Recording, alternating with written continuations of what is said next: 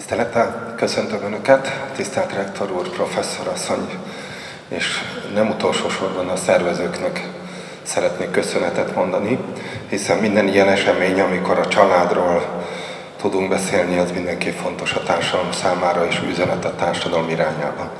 Külön szeretnék gratulálni ehhez a díjhoz, amit kiérdemelt a Debreceni Egyetem, és hát olyan jeles kitüntetettek között kapták meg, mint kisebb vállalkozások, kisebb cégek, sőt talán amit érdekességként hagy emeljek ki, tavaly kett, vagyis a 2012-es díjazottak között volt két büntetés végrehajtási intézet is.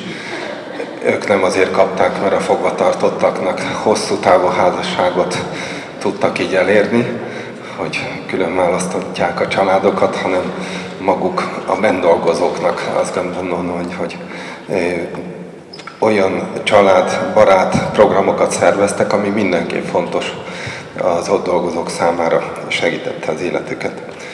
Ha megengedik, én nagyon röviden bevezetőként egy történetet mondanék el, majd utána család, család életre való közösségre való nevelés szükségességéről néhány gondolatot szeretnék önökkel megosztani, és ezzel kapcsolatban, hogy milyen konkrét intézkedéseket próbáltunk megtenni, amelyek részben anyagiak, részben pedig szimbolikusnak tekinthető, vagy lelkimód szempontból nagyon fontosak.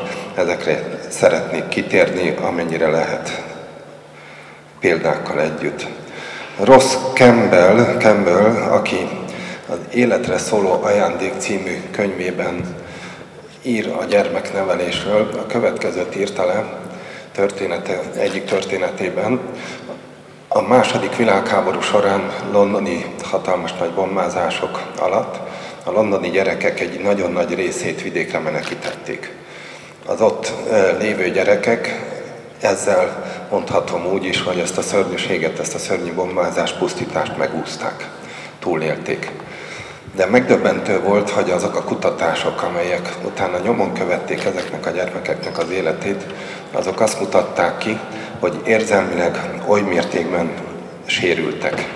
És erről egy külön fejezetet is ír a Hölgy elégtelen fejlő, fejlődés szindrómája címmel, oly mértékben sérült az ő életük, hogy egyrészt szülőktől távol voltak, másrészt hiába kaptak meg élelemmel mindent, vidéki életben még állítólag kicsit ki is kerekedtek. De lelkileg oly mértékben hiányzott számukra az az időszak, amely a szülői segítés, simogatás, támogatás, ölelés, akár a szemkontaktusnak a nagyon fontos szerepe egy-egy gyerek életében, vagy pedig egy-egy kapcsolat életében, hogy nagy többségében ezek a gyermekek mind sérülten éltek vissza, tértek vissza. És maga a szerző az Életre szóló ajándék című könyvében végig taglalja azokat az élethelyzeteket, eseteket, amelyet mindenkinek ajánlok, és főleg a fiataloknak, akik családi életre készülnek, vagy ki fognak készülni, akik házasságra készülnek és gyermekvállalást fognak, reméljük, sok-sok nehézség és sok, sok öröm között vállalni, hogy készülni kell erre az életre. És ebből éppen ezért tartom nagyon fontosnak, hogy azokat a példákat, amelyeket elmondok, azokat érdemes mind egy-egy munkahely, minden egy ember vagy egy közösségnek az életébe beépíteni. A munkámból fakadóan nagyon sok gyermek otthonban, nevelő otthonban járok. Olyan fiatalokkal találkozok, tizenévesekkel, adott esetben nagyobbakkal is, és három-négy évesekkel is, akik sérültek, és azért sérültek leginkább, mert szüleik vagy felkészületlenek voltak a gyermeknevelésben, vagy pedig felelőtlenek. Mind a kettő azt hiszem nagyon fontos, hogy tudni kell, hogy fel is kell készülni, és felelősen gyermeket vállalni, családot alapítani. Most is, amikor Debrecenbe érkeztünk, akkor eljöttünk a javítóintézet mellett, ahol néhányszor én már voltam, fociztam is azokkal a fiatalokkal, beszélgettem is velük. És mind a fiúkkal, mind máshol Esztergomban lányokkal beszélgetve iszonyatos tragédiák jönnek elő. Az itt lévő hallgatók között, vagy akik itt eljöttek erre a konferenciára, szerintem kevesen találkozhattak olyan élethelyzetekkel, mint amivel ezek a fiatalok belekerültek. Egyébként sajnos azt kell mondani, a legtöbbjük nem mondja, hogy önhibájukon kívül, de a felelősség, hogy ők egy bűnt elkövettek, egy szörnyű tettet adott, adott esetben elkövettek, az nem mindig csak az ő felelősségük. Amikor egy 13-12 éves kisgyereket, kislányt kitesznek, prostituáltak az utcára, és ebből valakik jól megélnek, az elképesztés szörnyű és iszonyú tragédia.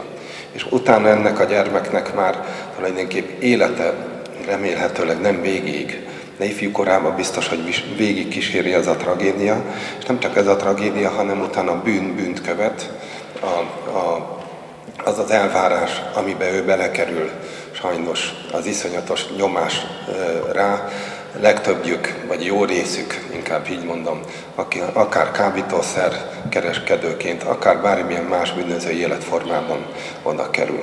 És mindez történik azért, mert ezek a szülők, akik őket megszülték, elkezdték, hát nem mondom, hogy nevelni, de velük foglalkozni, nem voltak fölkészültek és felelőtlenek voltak. A másik, amivel azt hiszem már sokkal inkább találkoznak, és iszonyú tragédiákat okoz, iszonyú nehézséget egyébként az országnak. Most nem a kormánynak, mert valahogy meg kell oldani egy nagy részét, az a deviza hiteleseknek a kérdése. És hány és hány ezer, tízezer család megy azért tönkre, mert sokak nem vették komolyan, nem hogy egy egyetem tanítását, oktatását, de az általános iskola, középiskolai matematika órákat, vagy, vagy számításokat. Nem vették komolyan mondjuk a kamat számítás. És bármilyen furcsa vannak itt orvos tanhallgatók, vagy képzés is van, vagy bármilyen más terület, szociális képzés, ápolónő képzés, de nyilván azok az alapvető számítások, amelyek egy család életéhez szükségesek ahhoz, hogy a bevételeket, kiadásokat, a költségvetéseket valamilyen módon mégiscsak közép és hosszú távon egyensúlyban lehet, lehessen tartani, az a családok életével iszonyú jelentőséggel bír. És amikor én nap mint nap kapom azokat az e-maileket, leveleket, könyörgő vagy, vagy tényleg szörnyű állapotot jelző üzeneteket, amikor szétesik egy család, akkor mögötte sokszor ott van az is, hogy amit leírják, hogy mi történt velük, hogy adósodtak el. És tulajdonképpen csak két-három számítást kellett volna megtenniük. Nem bevenni azt a hazugságot, hogy van ingyen hitel. Nem bedőlni annak, hogyha mondjuk 10% egy kamat, akkor az, az 1 millió forinton az nem 100 ezer forint visszafizetését jelenteni, hanem kamatos kamat van. Nem szeretném tovább ragozni ezt a kérdést, de főleg a fiataloknak szeretném ezt a segítséget megadni, hogy hosszú távon, amikor készülünk az életre, akkor nagyon fontos az, hogy a tervezés is ott legyen, persze az érzelmeket nem szabad kihagyni. A harmadik nagyon nagy, és amivel szembesülök nap mint nap, és amivel igazából a társadalom eddig nem akart szembesülni, az a vállásoknak az iszonyatos nagy száma. Bárki bármit is mond ezzel kapcsolatban, hogy meg lehet oldani. Szépen el ketté mennek az emberek, férfi és nő. Mindig valaki sérül. Most épp hétvégén találkoztam egy nagyon jó barátommal, ismerősemmel, most tudtam róluk meg, hogy szétesnek, és panaszkodott, hogy az egyik gyerekük, a legnagyobb gyerekük egyszerűen kamaszkorban kezelhetetlenné vált, nem tudnak mit kezdeni vele, nem tud mit csinálni. Akárki, akármit mond, mindenképp sérülnek ezek a gyerekek is. És éppen ezért nagyon fontos az, hogy mind az oktatásban, mind a nevelésben, képzésben azok a nehézségek, amelyek elé oda kerül az ember, akár egy vizsgán, megbuktatják, utána újra visszahívják, megbuktatják, újra visszahívják, ZH nem sikerül, vagy bármi, nem, bármi más nem sikerül. Ugyanezek az embernek rosszul esnek, vagy egy párkapcsolat nem sikerül, és utána eh, az ember ott áll, hogy most mihez kezdjen, ki az a, a, az újabb kapcsolat, akivel egyáltalán a bizalmat eh, belé lehet vetíteni. Ezek a úgymond kisebb-nagyobb tragédiák az életben, de ezek mind-mind arra készíthetnek föl, hogy az ember a nehézségeket állja, bírja, tűrje, és hát adott esetben, hogyha ilyen elé áll, akkor nem, nem meneküljön el a nehézség elől, hanem a megoldást próbálja keresni. Nagyon fontosnak tartom ezt, hiszen hogyha ezen tud egy fiatalabb korosztály változtatni, akkor biztos, hogy nagyon nagy előrelépés lehet ebben, és nem csak az én saját tapasztalataimból mondom ezt, hanem az összes olyan felmérés, akár amit Kopmáriáik is végeztek a múltban, azok mind-mind azt mutatják, hogy mindazok, akik házasságban élnek együtt, azok sokkal egészségesebben tudnak együtt élni hosszú távon, mindazok sokkal tovább élnek érdekes módon, és mindazok pedig általában több gyermeket is tudnak, és mernek is vállalni, és nem csak vállalni, hanem fölnevelni. Tehát ez nem csak egy divatját múlt együttélési forma, hanem egy olyan lehetőség, amely megerősíti ember, férfi és nő között, emberek közötti, férfi és nő közötti kapcsolatot. És éppen ezért, amiket most elmondtam, bár személyes tragédiáknak tűnnek, akár a gyermekotthonokban lévő gyerekek élete devizahitelesek, vállások során ott marad gyermekek élethelyzeten, de ez mind-mind kihat a házasságkötés számára, és csökken ezáltal a gyermekvállalás, kihat közvetve és közvetlenül a gazdaságra, és direkt módon kihat egyébként 10-20-25 év múlva arra az úgymond népjóléti rendszerre, amiből akár az oktatást, akár az egészségügyet, akár a szociális terület bármilyen segítő részét, de hozzáteszem a nyugdíjat is föntartja az a mindenkori állam, vagy minden bármelyik nemzet. Éppen ezért nyilván nem mindegy az, hogy mennyi gyermek születik, mennyi gyermeket tudunk nem csak megszülni, hanem föl is nevelni, hiszen az legalább olyan fontos, hiszen ők azok, akik hosszú távon az országnak ezeket a népjóléti rendszerét föntartják. Ha megengedik, akkor néhány olyan megtett intézkedést hadd soroljak fel röviden, amit én fontosnak tartok, és még egyszer hangsúlyozom, egyik oldal csak az, ami anyagi intézkedés. Nagyon sok olyan embert ismerek, nagyon sok olyan családot ismerek, akik hatalmas nagy házakat építettek, nagyon jól élnek, van vagy három jeep a családban, nem is tudja éppen melyiket használja. Nem tudják, hogy hova utazzanak már nyáron, mert bejárták az egész világot. És mégis az életük boldogtalan. Mégis a házasságukban nem találják az igazi értékeket. Tehát fontosak, és nem szeretném alulbecsülni természetesen az anyagi forrásokat és lehetőségeket, szükségét egy házasság, egy család, egy közösség életében, de legalább milyen fontos azok a szimbolikus lelki dolgok és adottságok és lehetőségek, amelyet adott esetben egy társadalom is föl tud karolni, és hogyha azt támogatja, akkor biztos, hogy erősíti a családokat és a házasságkötéseket. Az anyagi területre a családi adókedvezményt hadd emeljem ki. Ennek nem csak anyagi szempontból volt üzenete, és van üzenete, hanem az is az üzenete, hogy a gyermekvállalás az nem áll meg ott, amikor megszületik egy gyermek, azután megkapja a család a különböző támogatásokat egy-két-három éven keresztül, vagy később még a családi pótlékon keresztül, hanem a gyermekvállalás a gyermek nevelésével is együtt jár. Ami iszonyatosan nehéz dolog. Én őszintén tudom mondani önöknek, négy gyermekem van, azok közül kettő egyetemista már, egyik most érettségizik, van még egy gimnazista, mindegyik más és más. Mindegyikhez más és más, hogy kell hozzáállni. Mindegyikkel más és más, hogy lehet szót érteni. Ez a szép az életben persze. Csak ezt azért hangsúlyozom, hogy a gyermek megszületése óriási öröm, csodálatos.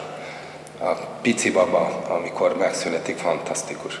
Mikor elkezdenek totyogni, az fantasztikus. Mikor elkezdenek beszélni, mindenkinek javaslom, hogy amikor az első mondatok elhangzanak, szavak, és össze-vissza keverik még a, a gondolatokat, érdemes fölírni ezeket. Mi egy darabig vezettük ezt, és tényleg olyan humoros és aranyos kifejezések jelennek meg, amikre öröm visszaemlékezni.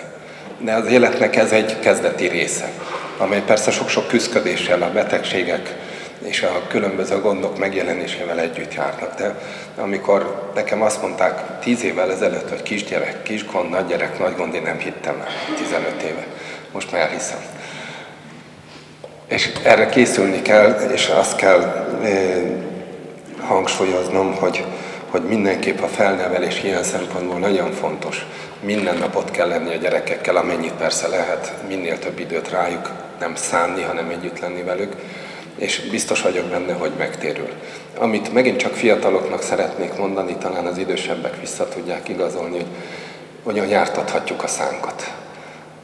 Nevelhetünk, mondhatunk sok mindent, de igazából a nevelés az maga a viselkedéssel, a mintákkal éri el a gyümölcsét. Sőt, hát a kamaszkorban, ifjúkorban még egy sok sor ellenkező érzés is, nem, és cselekedet is megvalósul a gyerekekben, te a fiatalokban, teljesen érthető. A lázadáskorra teljesen érthető. Aki nem teszi, azt szerintem az a felnőtt korban fog majd igazából szenvedni. De mégis azt tapasztalom, látom, a saját gyerekeim is egyébként most már hála Istennek, de, de barátokénál is, akiknél már nagyobb gyerekek vannak, hogy a minta, amit szülőként családként, barátokként, közösségként átadunk egy-egy gyereknek, az egyszer csak, amikor elérnek abba a korba, amikor mondhatom úgy is, hogy benő a fejük lágya, akkor visszatér. És attól kezdve érdekes módon azt a mintát követik. Talán nem véletlen az a mondása, hogy nézd meg az anyját, vedd el a lányát. Ezekben nagyon sok igazság van. Nem is biztos, hogy minden szinten, de sok igazság van. És ezzel persze az nagyon sokat nem szeretem bántani. A másik eh, döntésünk a gyes visszaállítása volt. Itt nem azokat céloztuk, akik nehezebb életkörülmények között, vagy eh, jobb módban élnek, hanem pontosan azokat, akik nehezebb életkörülmények között élnek. Akiknél nem az a fontos, mint mondjuk az itt lévőknek eh, közül nagyon sokan, hogy minél hamarabb adott esetben visszatérjenek szülés után munkahelyükre, egy-két-három évig ott dolgozzanak, majd utána újabb gyermeket merjenek, és akarjanak is, és szeressenek is vállalni. Azt mutatják a statisztikák, hogy egyik oldalról a magyar társadalom, sőt, összességében teljesen gyermekbarát, de a szülők, és főleg a mostani fiatalok két csoportra oszthatóak. Egyik csoportjuk az, akik azt szeretnék, mint a hagyományos magyar családokban, ami szerintem nagyon jó, minél tovább, tovább otthon legyenek a gyerekekkel az édesanyák. Egy-két-három, akár több gyerekkel is.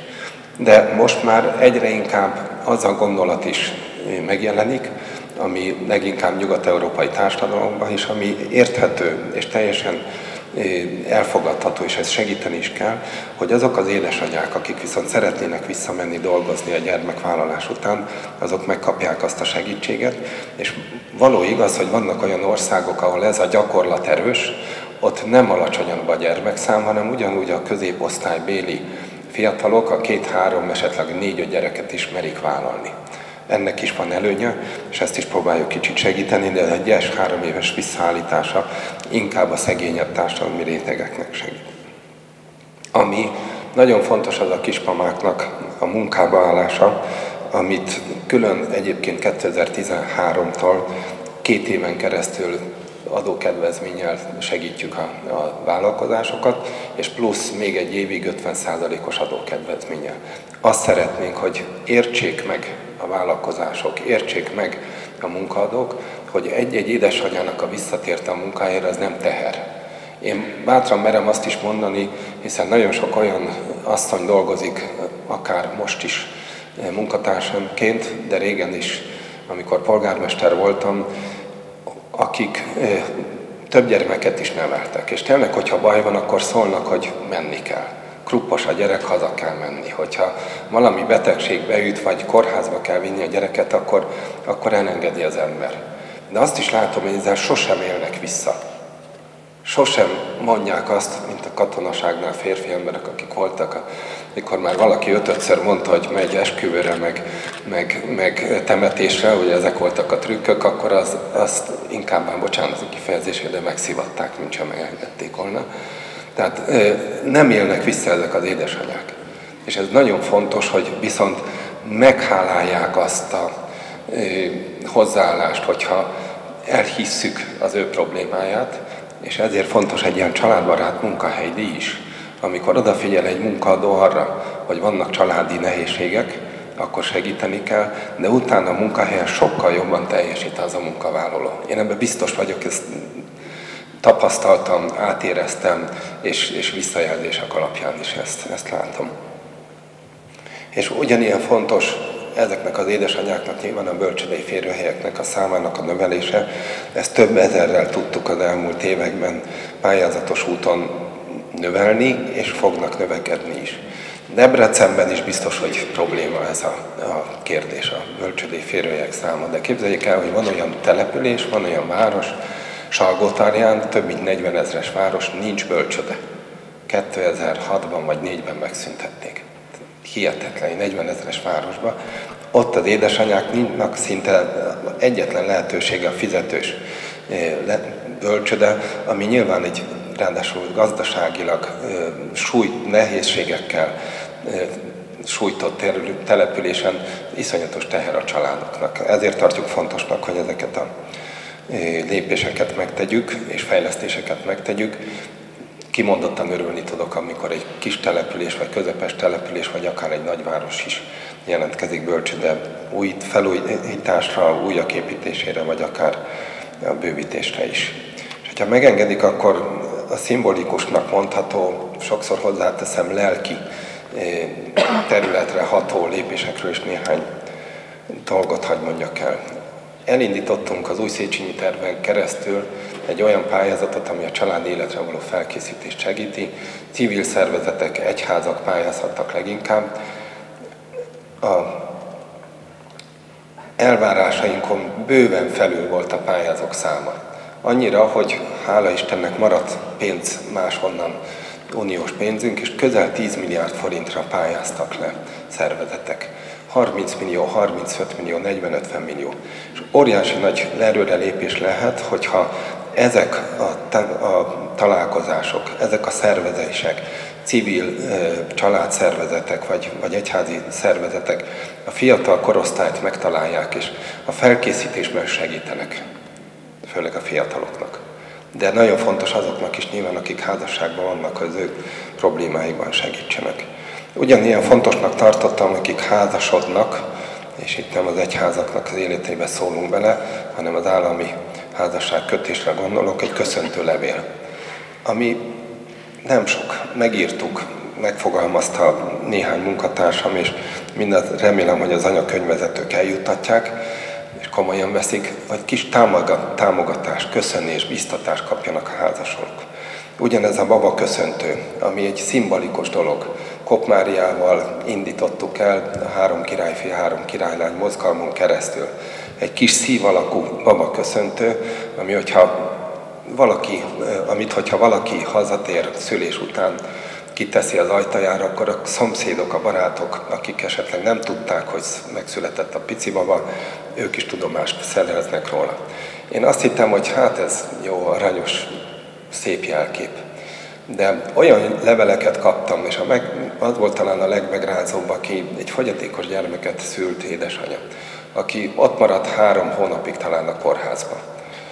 Addig kellett ott segíteni, ápolni, gondozni, és utána tudtak csak hazamenni. És kitették ezt a ajtódíszt, és sorra köszöntek a, a szomszédok, barátok, és azt mondta, hogy ez adott neki ahhoz erőt, hogy utána ezt a helyzetet el, elviselje, hogy ezt a helyzetet, amire nagyon nehéz felkészülni, hogy fogyatékossággal élő gyermek születik a családba, ezt a, időszakot átviszelje, és hogyha ezek a szomszédok nem értették volna meg az ő problémáját, akkor biztos, hogy a közösségből sokkal inkább kizárták volna magukat, és sokkal kisebb erővel tudnák nevelni azt a kisgyermeket, aki amúgy is ilyen nehéz élethelyzetben született. És ugyanilyen fontos családbarát munkahely, vagy pedig a családbarát médiadíj. Nagyon fontosnak tartjuk, hogy legyenek olyan médiák, legyen az újság, tévé, bármi más internetes honlapok, amelyek a családról nem negatívan beszélnek, akik a családot próbálják úgy beállítani, mint értéket, és nem mindig csak a rombolás. Nézzék meg azokat a filmeket, amelyek ezt az irányt célozzák meg, és hogy micsoda rombolást tudnak elkövetni az ellenkező pólusú filmek. Hatnak az emberre. Ahogy hat mondjuk az a villám reklám, amikor egy coca cola vagy bármit egy pillanatra bejátszák, ami elvileg, ha jól tudom, tiltva is van a filmekben, de mégis csinálják, hat az emberre tudat alatt. És minden ilyen médiában megjelenő negatív hír, ami rombolja ennek az értékét, az bizony kihat a fiatalokra és kihat a házasokra is. És ugyanilyen a családbarát közgondolkodási pályázatunk is, amikor megint csak több száz szervezet tudott az elmúlt évek során most már jelentkezni erre. Bízom benne, hogy az idei pályázatunk is ugyanilyen sikerrel fog zárulni. És hagyosszak meg önökkel még lassan befejezésképpen egy olyan élményemet, ami úgy gondolná az ember, hogy, hogy igazából nem is olyan nagy siker. De amikor minket nagyon sok területen támadnak az Európai Unión belül, akkor az ember gondolkodik, hogy miért vannak ezek. És legtöbbnyire anyagi kérdés, mert sokan úgy vélik, hogy sérül az ő gazdasági érdekük a magyar döntések, magyar kormány döntéseknek kapcsán. Másik oldalról pedig vannak olyan értékbeli kiállásaink, amit mi fontosnak tartunk. És ennek eredményeképpen másfél évvel ezelőtt Moszkvában a nemzetközi legnagyobb családszervezet Magyarországot kitüntette egy család díj, vagy egy díjjal, aminek pont az volt az üzenete, hogy az, amit próbálunk közvetíteni, amit az Európai Uniós elnökségünk során is próbáltunk közvetíteni, annak igenis van kihatása, nem csak Magyarországra, hanem szerte a világra. És én arra azt gondolom, vagy azt, azt kell mondani, hogy erre büszkék kell, hogy legyünk. Tehát ez nem egy kormánynak, nem néhány embernek, nem egy minisztériumnak vagy államtitkárságnak a munkája, hanem a magyar embereknek az a családban való gondolkodásának, a, a mentalitásnak a, a, a dicsérete és köszönete, amit régen is nem csak, hogy büszkék kell, hogy legyünk, hanem ezt közvetíteni is ki, kifele. És ami a legmegdöbbentőbb, hogy olyan országokban álltak ki mellettünk, Svédországtól, az amerikai Egyesült Államokon keresztül civil szervezetek Magyarország mellett, akiktől meg sokszor pont az ellenkezőit kapjuk már, mint az országok vezetőitől sokszor a támadásokat kapjuk. És ez mutatja azt, hogy az a küzdelem, amit megpróbáltunk megtenni most az elmúlt években ezen a területen, ilyen értelemben mindenki fontos és szükséges. Befejezésül pedig csak néhány olyan döntést, ami még a jövőben várható, vagy két pályázatot szeretnék. Idén is elindítjuk a családbarát munkahely díjat, 20 vagy pályázatot, 23 millió forintért, illetve a családbarát közgondolkodásért civil szervezetek, egyházi szervezetek pályázhatnak 60 millió forintért. Idén is szeretettel várjuk őket, és biztatjuk is őket, hogy induljanak a pályázaton. És ami talán a fiatalokat, az egyetemista korosztályt érinti, most dolgozunk azon, és itt csak egy dolgot tudok kiemelni, a lehetőségen, hogy hogy lehet még a családi életre, a házasság kötésre, illetve a gyermekvállalásra még valamilyen segítséget adni a fiataloknak. Éppen ezért az egyetemistákat érintő pozitív döntések, vagy egyetemista korúakat érintő pozitív döntések lehet, lehetnek még a következő fél év során, amelyek a gyermekvállalást, a házasságkötést segítik. És május 26-án indítanánk egy csúnya szóval mozgalmat, táncválasztó, párválasztó címmel, aminek egy, egyik állomása Debrecen is lesz, egyébként több nagyvárosban, Budapest lesz a központ, és több nagyvárosban szeretnénk segíteni azoknak a fiataloknak, akiknek a tanuláshoz megvan a lehetőségük, a munkához megvan a lehetőségük. És leginkább ez utóbbiaknál van a legnagyobb gond. De valahogy belefeledkezve a munkába, a tanulásba sokszor gond maga a párválasztás is, a kapcsolatteremtés is az a lehetőség, hogy kultúrát és amennyire lehet normális körülmények között találkozhassanak. Erre is elindítunk egy olyan támogatást és lehetőséget, amely fiatalabb korosztályt érinti. Én nagyon szépen köszönöm még egyszer a szervezőknek ezt a lehetőséget, köszönöm szépen a figyelmet, és remélem, hogy olyanokat mondtam az idősebb korosztálynak, akiket, amivel nem bántottam meg őket, mint szülőket, mint ezen a területen dolgozó szakembereket, másik oldalról meg pedig szeretném, vagy örömmel tölten el, hogyha fiatalokat egy kicsit biztatni tudtam volna azokkal a gondolatokkal, amelyeket én is megéltem, és most is megélek, mind a területért felelős államtitkárként, ez a legkevésbé fontos, mint pedig édesapaként, mint pedig aki egyébként sokat foglalkoztam fiatalokkal, akár túrák, akár bármilyen más programoknak a vezetésével évtizedeken keresztül. Köszönöm szépen figyelmet!